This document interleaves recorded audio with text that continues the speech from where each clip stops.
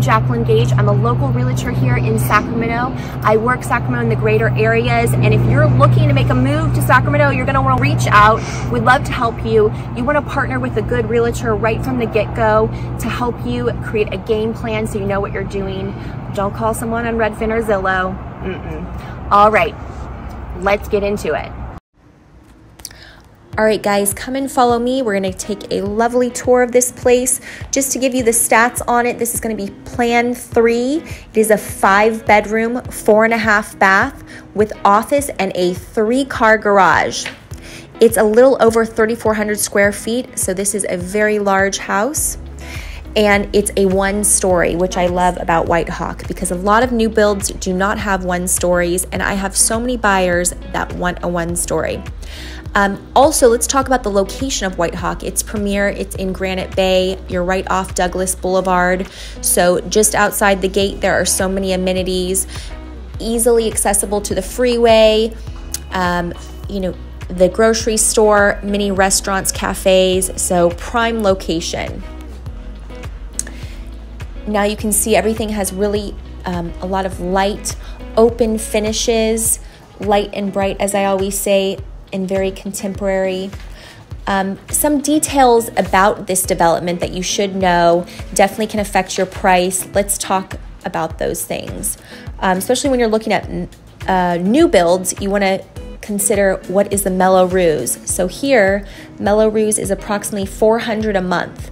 And what that is, is essentially a tax on newer areas because it costs to, you know, build the schools, the roads, the fire department around the area. So Mello-Roos is something you're always going to see on new home builds and definitely will add to your payment. So that wants to you want that to be one of the first questions you ask.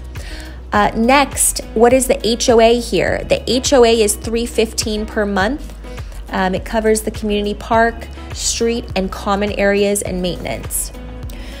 Um, as far as the lot size, you know, new home builds tend to have smaller lots. The lots here range from 9,000 to 14,000 square feet.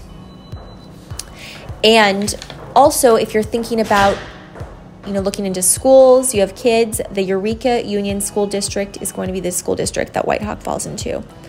Um, another thing people ask, these are common questions about parking. Residents may be able to park two cars in the garage, no street parking is allowed. Um, guest parking is also available. And also, another good question when considering the financial aspect of this purchase is what is the tax rate? So that's going to be 1.05% of the purchase price. As far as what are your uh, deposits for down payment, that's going to be 25,000 paid to hold your reservation or deposit. And on top of that, there's other deposits. Like if you go to the design studio and you're going to pick out designs, they want 30% of the total. Um, also, 30% of the total if purchasing solar, but you could choose to lease solar. And for the structural option, the deposit would be 30% of that. So, just some things to consider when thinking about a purchase at Whitehawk.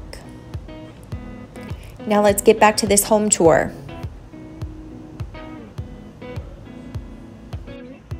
One other thing I should note is pricing for these developments starts in the low millions. Uh, that would be starting at 1.2, going all the way up to a little over 1.4. Now, as far as this plan three, right now, uh, the available plan three is listed at 1.327. And you're going to want to call me if you have questions on pricing because it's always fluctuating and also depending on what lot you want, etc. So definitely reach out. Would love to help you.